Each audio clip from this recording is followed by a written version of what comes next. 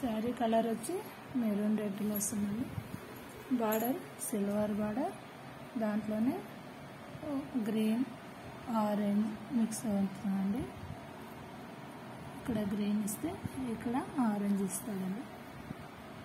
పైన వచ్చి చిన్న బార్డర్. మధ్యలో శారీ అంతా ఇలా ఫ్లవర్స్ తోటి ఉంటుంది.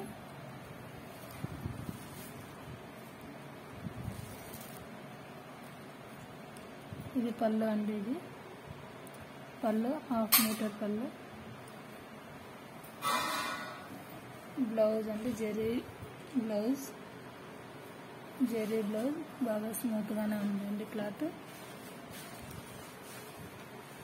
శారీ మొత్తం ఇలా గుర్తిస్తూ ఉంటుంది.